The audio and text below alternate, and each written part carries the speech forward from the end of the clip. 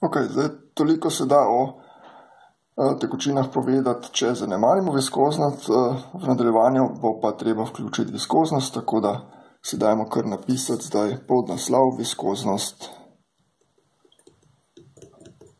Skratka, to, tukaj bomo zdaj vključili to, kot smo rekli, ne, trenje med plastmi,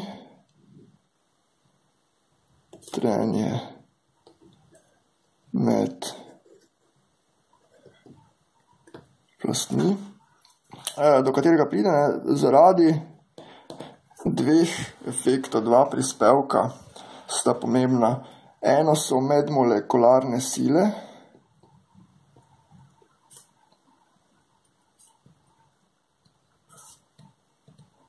sile, ne, spomnite se čisto voda v tekočine. Eh, pri tekočinah so te, nekem, te sile na nekem korelacijski razdalji pomembne. In zdaj, ko je tekočina miruje, so vse te legene molekule nekako blizu ravnovesi. Če se pa posamezne plasti začnejo premikati, bojo pa sosednje molekule ne bojo več v ravnovesju in bodo delovale sile. In ta prispevek je večji oziroma bolj pomemben pri kapljevinah.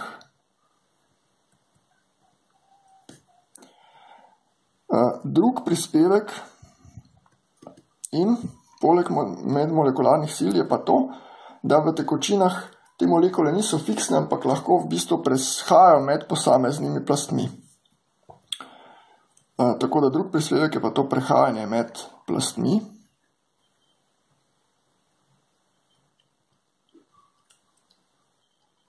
med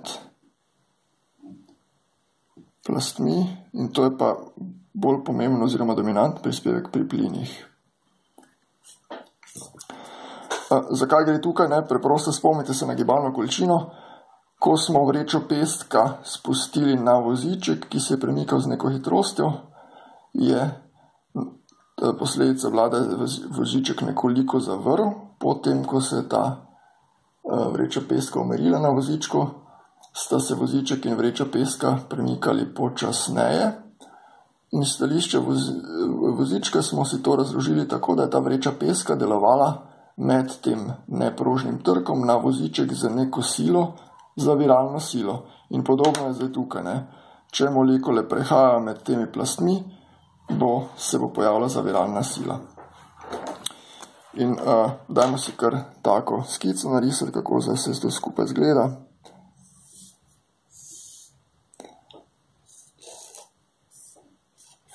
Se pravi, recimo, da damo plast neke viskozne tekočine, recimo medu, med dve plošči. Ti dve plošči pa potem vlečemo na strik.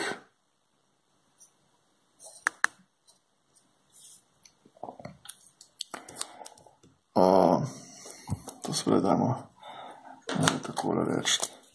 Tukaj vmes pa imamo neko viskozno stvar, recimo plast medu.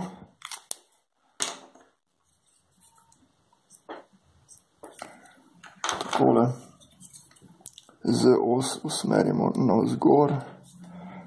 In zdaj se skupaj spodnjo ploščo recimo držimo pri miru, zgornjo vlečemo v tej smeri z neko silo, spodnjo bomo morali potem v nasprotni smeri, tako da bo rezultanta vseh enaka nič. Skratka, se skupaj obremenimo na strik, ne, to se pravi, imamo dvojico strižnih sil.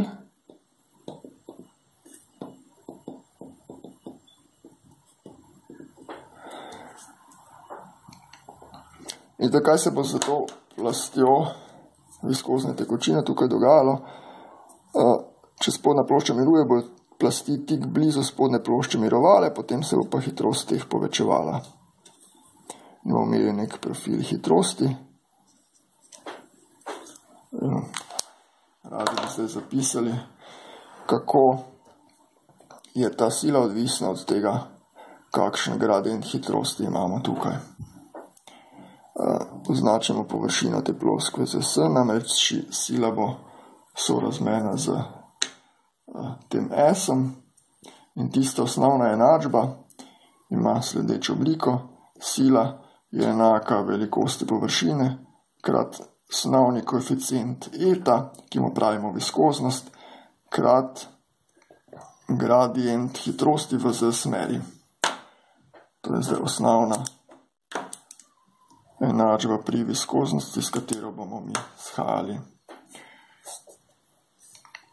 Torej, eta je viskoznost.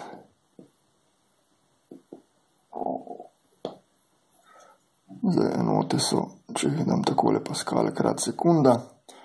Uh, mogoče nekaj vrednosti, da si bomo lažje predstavljali, ki jih imajo različne snovi. Tukaj bom pisal eta, tukaj pa različno snov. Če vzamem zrak pri normalnih pogojih, to se pravi tam cirka 20 stopinj, je to reda 18 krat 10 na minus 6 v teh osnovnih SI enotah. Če vzamem zrak pri 100 stopinjah, skratka pri višji temperaturi, dobim viskoznost malo večjo. Na drugi strani pa, če vzamem vodo, je pa viskoznost precej večja in sicer približno 1 krat 10 na minus 3 pri normalni temperaturi.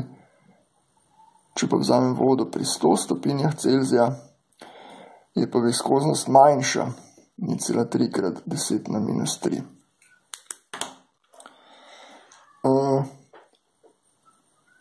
pri tekočinah, ko povišamo temperaturo, viskoznost pada. Tipično. Tekočinam pada. Tega smo tudi po izkušnjah uh, vanjeni, če med se gremo, bo pač bolj tekoč, lažje teko, manjša bo imel viskoznost. Med, to je zaradi tega, ne, ker uh, bodo te medmolekularne sile pri kapljevinah pri višji temperaturi manj pomembne, ker je tistega kinetičnega migetanja več. Pri plinih je pa ravno obratno, pri plinih pa, ko temperaturo povečamo, se malo poveča viskoznost. To se pravi, plinom pa narašča. Običajno. To je pa zaradi tega, ker neko povečamo temperaturo plinom, so tudi te hitrosti večje in zaradi tega je ta zaviralna sila zaradi prehajanja med molekulami uh, večja. Uh, zdaj, mogoče še tale komentar tukaj. Ne? Če se spomnite, smo, ko smo govorili o tlaku, smo rekli, da je uh, v merjoči tekočini ne, tlačne sile so vedno pravokotne na stranico in v merjoči tekočini imamo samo tlačne sile. Ne. Zdaj pa vidimo, da če se pa tekočina premika, se pa pojavijo tudi sile, ki so sporedne z ploskvijo, torej strižne sile in te so povezane z viskoznostjo.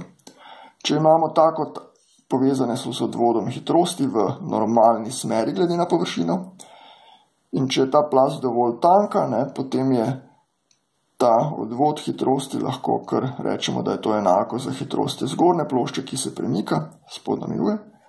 Hitrost zgornje plošče deljeno z debelino plasti. Temu je enak ta odvod.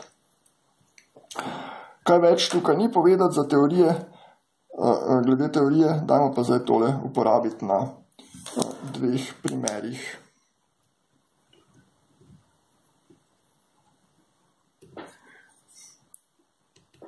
Prvi primer bo Pompeji.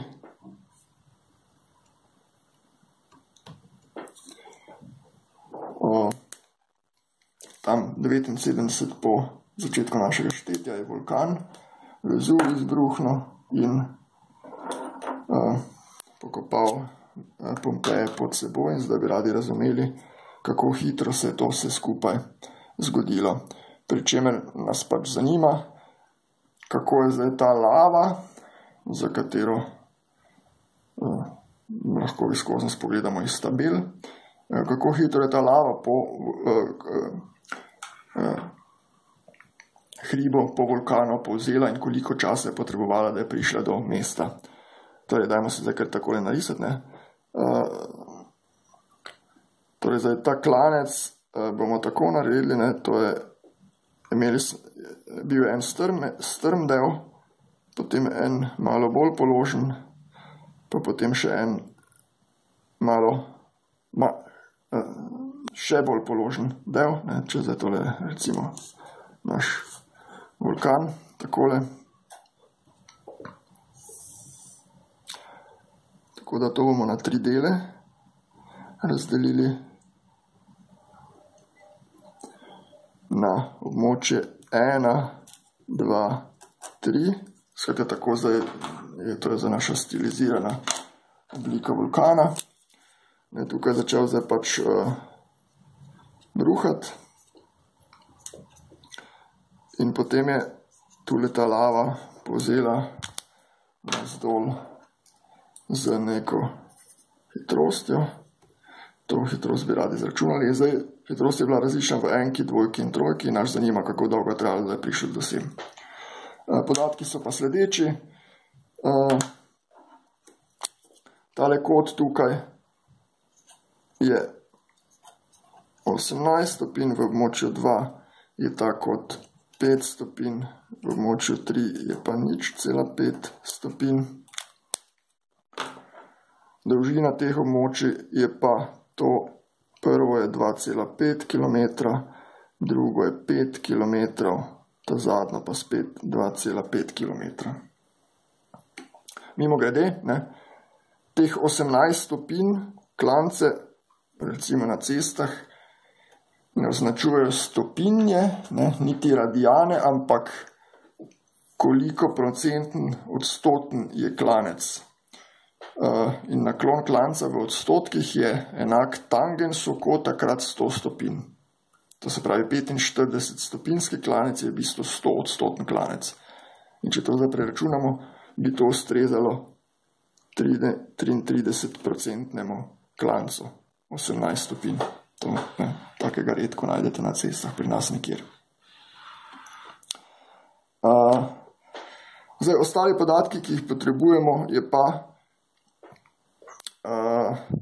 ta debelina lave, ki je povzela tukaj navzdol, da to je znano iz izkopavanj, recimo, da je to en meter, gostota lave približno 2500 kg na kubični meter, viskoznost lave pa 100 teh osnovnih enot paskal sekund. Vidimo, da je Ne, skratka, uh, voda 10 na minus 3, ne, zdaj, uh, skratka, to je zelo gosta uh, stvar. In pač zanima nas, ne, čas, ki ga je ta lava potrebovala do Pompejev. Pompeji so pač tukaj nekje od spodaj. Ne.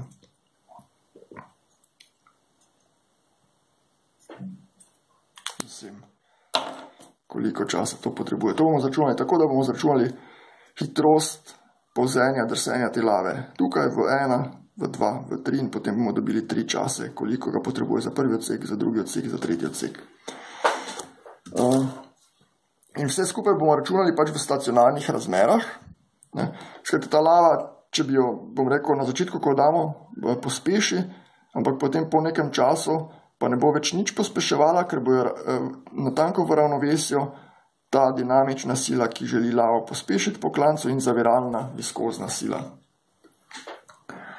Uh, tako da se mogoče tukaj naredimo še eno povečano sliko samo enega dela, enega klanca, kako to zdaj izgleda na tem našem klancu.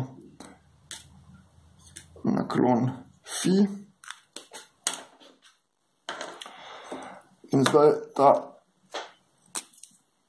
lava tukaj pozi navzdol.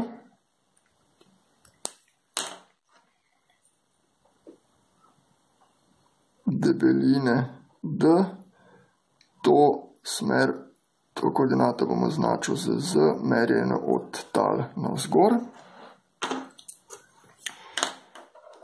In uh, Zdaj imamo pač nek profil hitrosti, če jih mogoče skiciram, zdaj sicer še ne vemo, kako bo ta profil hitrosti izgledal, ne? ampak recimo, ne, tu pač eh, tik ob tlemi bo hitrosti lave enaka kar nič, ker vedno vsa uh, viskozna tekočina ob steni ima vedno isto hitrost kot stena, to se pravi stena, v našem primeru tla miluje, to se pravi spodaj bo hitrost nič, uh, tik nad površino neka majhna, potem bo pa ta hitrost nekako naraščala.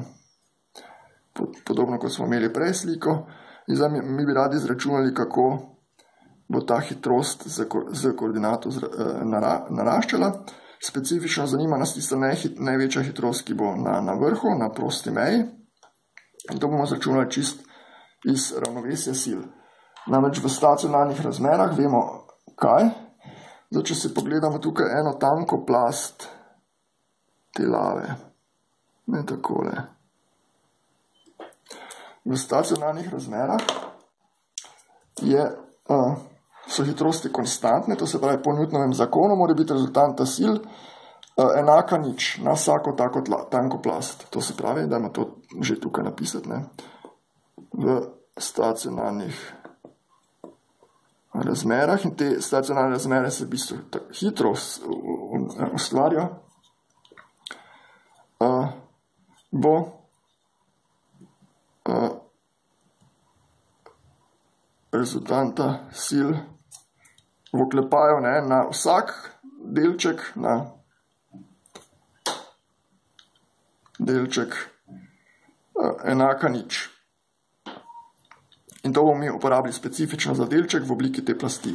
Tako da si dajmo za eno te plasti, skratka za eno majhen košček te lave, debelina tega koščka, takole, naj bo DZ. Katere sile zdaj deluje na ta košček? Deluje sila teže navzdol, FG, specifično bo pomembna tista dinamična komponenta vzdolž klanca, potem pa deluje ta dve eh, dvojica teh strižnih sil, tako kot imamo tukaj. Na spodnji plasti bo delovalo tako, ena sila, F, pri, če tako oddaljenost Z, bom tole pisal F pri Z, na zgornji pa, ne, zdaj dinamična bo navzdol delovala, ta bo navzgor, ta bo navzdol. In ta puščica mora biti malo krajša kot ta, ne, zato da bo ta minus ta na tanko ravnovesna dinamična navzdol. To se pravi, ta puščica navzdol bo pa f pri z plus nekem dz. Malo mičkano večji koordinati, nekaj je debelina te plasti dz. In zdaj, če narišemo torej za tanko plast, eh, napišemo to uh, ravnovesje sil za tanko plast, skratka, zdaj bom takole narisal, za tanko plast, to je tukaj, gledamo, bo kaj enako? Dinamična komponenta sile teže je enaka mg krat sinus fi. Uh, masa bo pa enaka gostoti te lave krat površina, ta prečna površina v, v tlorisu, s krat dz, s krat dz je prostornina, krat rho je diferencial mase, krat g, krat sinus fi. To je tista, ki navzduje, eh, deluje navzdol, navzgor pa deluje f z minus f pri z plus dz.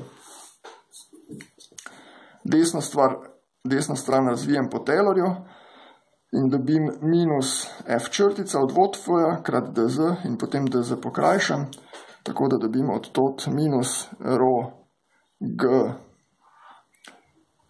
s krat sinus fi je enako f črtica. f črtica je od vod f po z koordinati. In to je za diferencijalna enačba, iz katere lahko zračunam, iz katere bom zračunal, kako se ta sila modra sila, tukaj strižna sila spreminja z razdaljo z. Enačba je prvega reda, tako da potrebujem en robni oziroma začetni pogoj. Zdaj, robni, ta robni, manjkajoč robni pogoj lahko vzamem silo pri koordinati nič ali pa silo na vrhu. Zdaj, sila na vrhu, ta f od z na prosti zgornji meji mora biti enaka nič. Na spodnji, pa recimo, če na spodaj napišem pri z enako nič, koliko pa mora biti tukaj ta sila, Ja, to spodnjo silo je pa mogoče malo teže, tu pa treba razmisliti, ne, kaj na spodnji strani, pa to velikost sile lahko dobijem iz razmisleka, da na celotno plast skupaj, če zgledam zdaj kot moj sistem celotno tole plast, deluje skupna sila teže, ki je enaka celotni masi in ta zaviralna sila navzgor. Ne, nobena druga sila ne deluje na ta celoten sklop lave. Tako da ta sila tukaj tik ob površini pri nič mora biti kar enaka celotni uh, uh, dinamični komponenti sile teže, uh, ki pa je S krat celotna debelina, prostornina krat rho krat G krat sinus fi. In to je zdaj tole. In zdaj, če oboje združim, tako lahko rešim to diferencialno enačbo, to samo integriram, to mi pa da integracijsko konstanto. In rezultat je sledeč. f od z je enako d minus z krat rho s g krat sinus fi. Tako se prepričam, tole res zadošča temu, če odvajam, dobim minus rho s g sinus fi. To. Robnemu pogoju pa tudi pri nič je kar d krat to. Pri z enako d, kar bi bil alternativen robni pogoj oziroma začetni pogoj za to enačbo, pa vidimo, da res dobimo nič. Skratka, to zadošča vsem pogojem, ki jih mora ta sila zadoščati. Tukaj lahko skiciramo, kako izgleda ta odvisnost te sile f od z, odvisnosti od z med nič in d, gre kar linearno pada na nič. No in zdaj, ko imam enkrat tole silo, ne, to ni nič druga kot ta strižna sila, tako da lahko to znano silo nesem v to enačbo in bom dobil enačbo za odvod hitrosti po z-ju. Tako da po drugi strani pa velja f od z deljeno z s krat eta, zdaj to enačbo samo pišem, je enako dv pod DZ, kar bom na kratko označil z V črtice. In če na levi strani to noter stavim, dobim, da je tale, ali bom kar takole pisal, to dobim, V črtica je enako, skratka to odvajam zdaj, oziroma nič ne odvajam, to prepišem, pa delim za S, S ne pokrajša pa eta. E, tako da imam D minus Z deljeno z eta krat rho g sinus fi. Tole. Spet diferencialna enačba prvega reda, integriram jo, integracijsko konstanto pa spet določim iz robnega pogoja oziroma začetnega pogoja, kaj bi pa bil ta. No, tukaj pa zdaj nimam izbire, tukaj pa edin poznan robni pogoj je ta pri tleh. To se pravi pri tleh, tako ta lava miruje. To bom zdaj povdaril tukaj. Tale robni pogoj ne pomeni nič druga kot to, da viskozna tekočina ob steni se vedno giblje z isto hitrostjo, kot jo ima tista stena. Torej, viskozna tekočina ima ob steni ne, hitrost stene. To vedno velja za viskozno eh, tekočino, ne glede na situacijo. To se pravi, ob tej spodnji steni, z drugimi besedami, tlemi, tlemi ima hitrost nič. Zdaj spet, ne, eh, to pa to zintegriram in dobim naslednjo rešitev.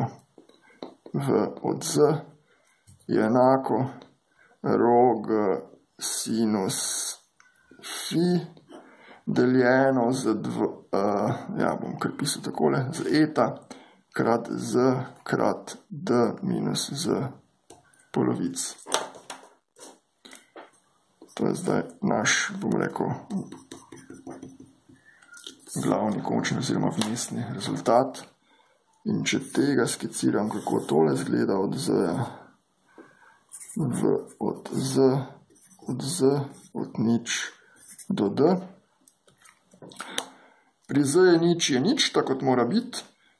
Pri uh, z enako d-ju je pa odvod nič, to se pravi, to je zdaj v bistvu parabolična oblika, to pomeni, da ima ta parabola maksimum tukaj. Tako da zgleda nekako tako.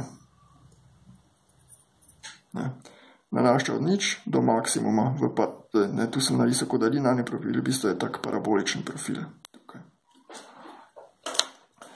No in zdaj, ko imamo enkrat tole, ne, uh, lahko zračunamo maksimalno hitrost, ki je na vrhu pri prosti površini in uh, ta je enaka rho g sinus fi krat uh, d kvadrat bom še kar tukaj stisnil, deljeno z 2 eta. In to zdaj lahko noter stavimo za, te tri, za ta tri območja in dobimo v ena je približno 39 metrov na sekundo, odkuder dobimo, da je čas potovanja čez teh 2,5 km približno ena minuta. V dva pri tem 5 stopinskem klancu je približno 11 metrov na sekundo, to pomeni, da je ta čas potovanja čez teh 5 km nanese 7,5 minut, v 3 je pa še samo 1 meter na sekundo, kar pomeni, da bo čas potovanja čez teh končnih 2,5 km, je pa potem približno 40 minut. Uh, skratka, tukaj imamo neko avtomobilsko hitrost na strmem klancu, ne, to je zdaj kolesarska hitrost, potem pa hitrost pešca. To se pravi, vse skupaj, zdaj, če se zaštejemo, je ne vem, 3-4 ure oziroma še malo več. To pomeni, da je veliko časa preteklo od izbruha do tega, da je ta lava pritekla do Pompejo. Veliko časa. In uh, smrtne žrtve po večini niso bile zaradi te lave, ne, ker tu je dovolj, uh, se vidimo, ne, tukaj pač na koncu, tik pred hišami, je bistvo lava z, mislim, to je počasneje kot pešec. Ne. Tako da te lavi tukaj na koncu komod utečemo. Ne. Tako da umrli so v bistvu ne zaradi te lave, ampak zaradi vročih plinov. Torej, smrti zaradi vročih plinov, ne, temperature 1000 stopinj Celzija, ki so pa prišibali navzdol z veliko večjo hitrostjo, ne, nekaj 100, recimo 700 km na uro. In ti vroči plini so pa torej v trenutku prišli navzdol in ti so pač pobili prebivalce. Uh, tako, to je zdaj ta primer z uh, Pompejo, drug primer. Uh, Mogoče lahko tukaj malo podčrtkamo, da bomo ločili. Drug in zadnji primer uporabe te viskoznosti bo pa laminarni tok po cevi. Tako da dajmo napisati uh, B, laminarni tok po cevi.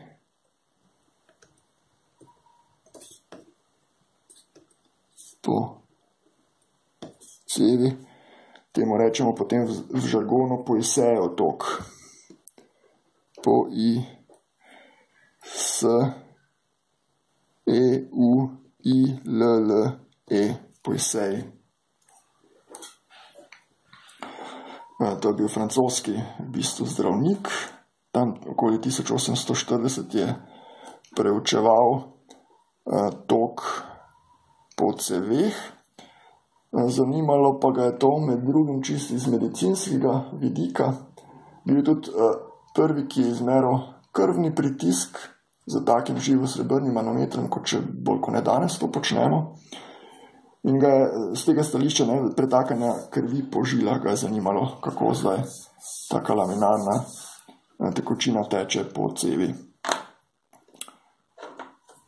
Torej, damo se skico narisati prečni prerez take cevi. To cev bom na debelo narisal. Uh, tako damo narisati. Gledamo recimo odsek cevi dolžine L. Uh, tukaj bomo noter imeli nek profil hitrosti. Spet ob steni bo hitrost nič potem pa bo nekako naraščala proti središču, proti strženu in potem simetrično na drugo stran. Za tale profil bomo videli, se bo izkazal, da je paraboličen. To bi radi izračunali, to bo naš rezultat. Zdaj, tale smer naj bo z smer, uh, polmer te cevi naj bo veliki R. Uh, poganjalo bo pa, skratka, te viskozne sile so zaviralne, tako da potrebujemo neko zunanjo silo, ki bo poganjala ta tok, če želimo, da je stacionarni. Skratka, laminarni in stacionarni tok gledamo, ne? včasih neodvisen. In poganjala pa jo bo tlačna razlika. Torej, tlak na tej strani mora biti malo večji kot na tej strani, da se to skupaj poganja in v duhu tiste izpeljave Bernoullijeve enačbe bo delo te razlike sile tlakov poskrbelo za te viskozne izgube. Uh, torej, tok je kot rečeno stacionaren, ne, osno simetrično,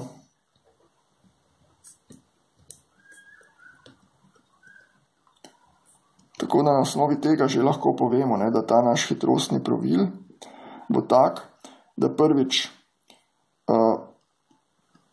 tekočina bo imela hitrost samo v z smeri, v tej smeri, vzdolž osi cevi, velikost te hitrosti se bo pa spremenila samo v prečni uh, smeri, to se pravi vzdolž r uh, koordinate v cilindričnem koordinatnem sistemu. Tako da bom tole tako napisal, ne v od r, skalarna funkcija v od r krat enotski vektor v z smeri. In mi bi radi ta v od r poiskali. Uh, Lote se bomo podobno kot pri tistih Pompejih, ker so razmere stacionarne, mora biti rezultanta sil na vsak del uh, uh, tekočine enaka nič. In ta namen si bom pogledal tak cilindričen del uh, uh, te tekočine, to so take cilindrične oblike, ne, če to zaključim, ki je okoli simetrično glede na središče, ima pa polmer R. Skratka, to zagledam, ne, tak o, del. Zdaj na tega bo kaj delovala ta uh, F, to se ta površina krat delta P, to bo ga poganjala, zavirale pa bo te strižne viskozne sile, ki deluje zdaj na obvodu tega valja. F.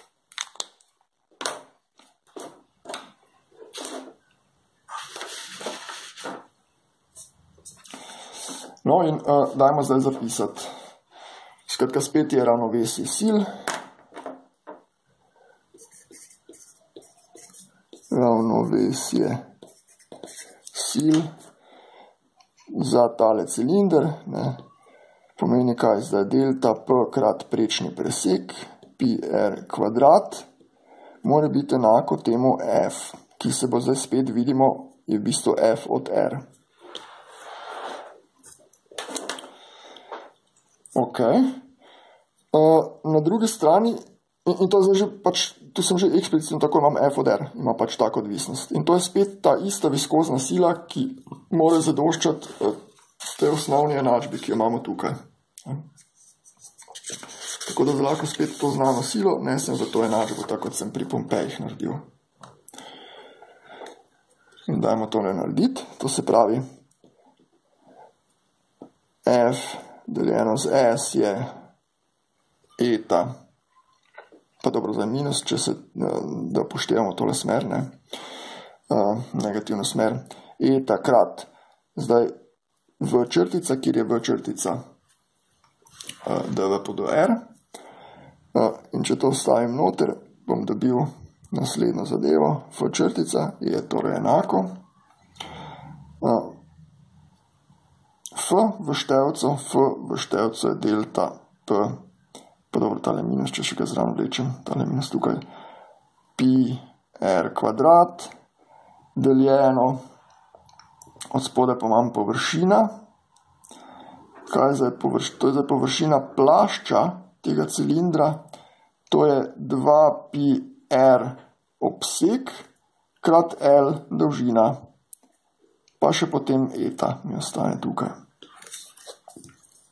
In če zdaj tole malo pokrajšam te ere, mi ostane delta P, pi se mi tudi pokrajša, krat R, mi zgoraj ostane od spodaj pa 2L eta. 2L eta. To je podobno, ne? enačba za, diferencialna enačba za radijalno odvisnost hitrosti in spet rabim tudi robni pogoj. Kaj bo robni pogoj? Na površini mora biti hitrost nič, tako kot smo prej povedali. Skratka, ob vsaki steni, katerikoli steni, mora biti hitrost enaka hitrosti stene, to se pravi nič v našem primeru. In torej to zaintegriram, to mi da integracijsko konstanto in dobim, da je ta hitrostni profil enak delta p. Skratka, integriram r, to se pravi, dobim r kvadrat polovici in bo tukaj štirka, to se pravi 4l eta. Tu pa imam r kvadrat minus mali r na kvadrat. Tako da vidimo, tak laminarni tok po cevi ima parabolični profil. Parabolični profil.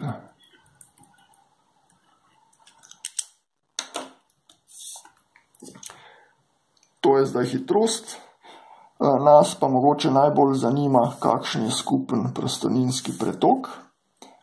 Da dobim skupni prostoninski pretok, volumski pretok, je treba zdaj integrirati tole hitrost. Kaj zdaj moram narediti? V ds pointegrirati po preseku te cevi. In to je zdaj kaj? Integral od nič do velikega r, to zdaj grem v cilindrične koordinate. Tale moj eksplicitno v od r, ne bom ga zdaj tukaj še prepisal, krat 2πr dr diferencial površine v cilindričnih koordinatah. Ne, zdaj, če mogoče skica pripadajoča k temu, je takole. Ne. Tu sem naredil en tanek trak debeline dr, pa pol mera r, in to je zdaj ds, ne, je obseg tega krat debelina dr. Ker če to zaodvijem, je v bistvu tole tak pravokotniček dolžine 2πr pa višine dr. No in zdaj tole stavim noter in zintegriram, to je zdaj preprosto vaja zintegriranja, rezultat, ki ga dobim, je pa sledeč, delta p krat pi r na 4 deljeno 8 uh, l krat eta. In to bom zdaj počrtal. To je enačba, ki nam podaja pretok, tak laminarni stacionarni tok po cevi, Poisejev zakon bi temu rekli. E, tako, in zdaj lahko nekaj pomembnih komentarjev na tem mestu naredimo. E, in torej opask. Ne. Prvič vidimo, da je prostoninski pretok sorazmen z gradientom tlaka, tlakom na dolžino cevi. Gradient tlaka. Kar je smiselno, ne? če želimo isti pretok, potrebujemo ob enkrat daljši cevi enkrat večjo tlačno razliko. Ja, ok, logično. Ne? Zaradi tega, ker bo pač ob enkrat daljši cevi, tudi ta zaviralni odčilek enkrat večji, ne, skratka, enkrat več energije se bo izgubilo zaradi teh disipativnih izkoznih sil. Drug komentar, zanimiv je, da je ta prostoninski pretok sorazmen z R na 4. E, ne mogoče z R kvadrat, površina tega preseka je z R kvadrat skalira, ampak pretok skalira z R na 4, zaradi tega, ker imamo še ta prispevek paraboličnega eh, profila. No in tukaj lahko naredimo naslednji komentar, zakaj je to pomembno. Recimo, če se vam v krvnih žilah kakšne obloge naberejo, recimo arterioskleroza, skleroza, ne, kaj se zdaj tam zgodi. Ne, recimo, ne, če se vam tale palmer zmanjša za polovico, zaradi tega, ker pač imate tu neke obloge. Ne. Kaj zdaj to pomeni? Če se vam polmer zmanjša za polovico, potem bo ob enaki tlačni razliki se bo prostoninski pretok ne, zmanjšal na 1 za 2 na 4, to se pravi 1 šestnajstinko. Skratka, kardinalno se zmanjša pretok. In zato seveda ni dobro, tako da potem srce poskuša to kompenzirati tako, da poveča tlačno razliko. Ampak jasno, tlačno razliko lahko poveča samo do neke določene mere, recimo, ne vem, ne, niti za faktor 2 ne more, ne, če vam pritisk vam ne more za faktor 2 kar naraste. Ampak recimo, če vam pritisk za faktor 2 naraste, bo tole zmanjšanje še vedno potem ena osminka začetnega. Tako da bom tu v klepavu napisal, ne, že ob majhnem zmanjšanju preseka je treba to kompenzirati z velikim povečanjem tlačne razlike, če želimo, da volumski pretok ostane enak. Za enak FIVI, uh, to se pravi za enak prostoninski pretok, ne, majhno, majhno zmanjšanje R pripelje do velikega povečanja delta P. Ravno zaradi tega R4. Ne? Če bi bilo na R, na R kvadrat, bi bilo super, ne? ampak je na R4, žal. Uh, ta enačba, še zadnji komentar tukaj, ta enačba velja, kot rečeno, za laminarni tok. Če se spomnite na začetku, smo nekaj povedali, kdaj ima, je tok laminarni, kdaj pa turbulentni. Smo splošno rekli, da bo pri večjih hitrostih postal tok turbulenten. Tako da tak in ta enačba velja za dovolj majhne hitrosti. Zdaj, koliko so te hitrosti, koliko majhne morajo biti hitrosti, odločujoče je en brezdimenzijski faktor, ki mu pravimo Reynoldsov število in ga bomo naslednjo uro zapisali. Na tem mestu bom samo povedal tole, da ta enačba velja za približno tole Reynoldsov število, ki ga označimo z RE, to je zdaj ena, ena oznaka, ne R krat E, za recimo manj kot tisoč.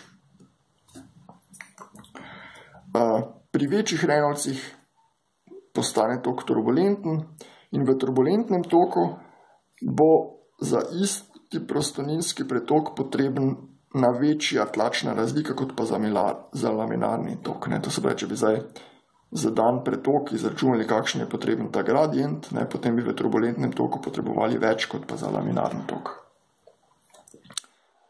Tako, zdaj to je viskoznost. Zadnja stvar, ki se bomo pogledali, je pa še upor.